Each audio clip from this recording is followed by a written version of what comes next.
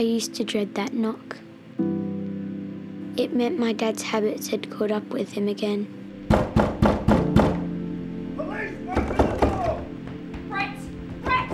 They're here again! What did you do? Ellie, you stay there! And Brett! Man, you're! It's a weird thing to see your dad taken away, He did nothing! but you kind of get used to it. It's actually the moments right after that are the worst. When everyone leaves and it's silent. And you're on your own. Again.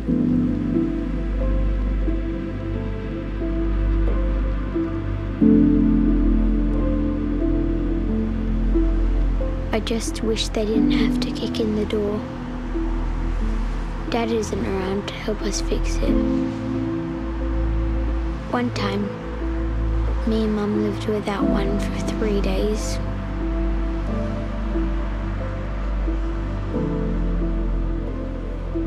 Dad was taken away and locked up tight, but we were left without even a front door to protect us. Here's something I learned. If no one is going to fight for you, then you need to fight for yourself. Be the one that hits first. Fight your teachers, fight your friends, fight the police too.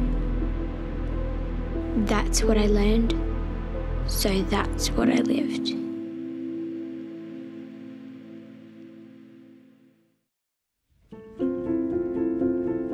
Someone from Prison Fellowship visited my dad, and they signed me up for a camp. I tried to fight it, but at that camp, something changed. Started with this game called Shooting Stars. You had to say what you admire about someone else in the group. It was so unusual for me to hear nice things about myself. I just remember feeling something I'd never felt before. I felt valuable.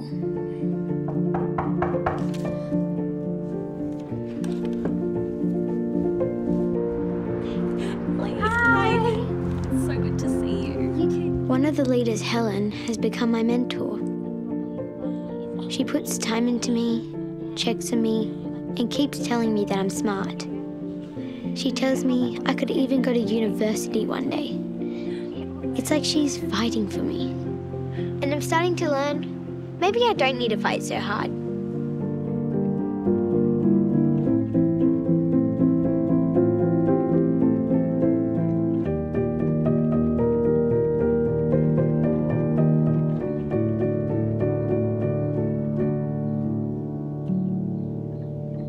Here's something else I'm learning. There are people out there, people I don't even know, who want to see me do well in life.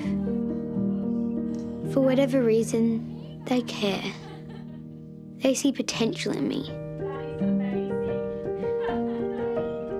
There's hope, even in the mess. And I might just be able to make something of myself.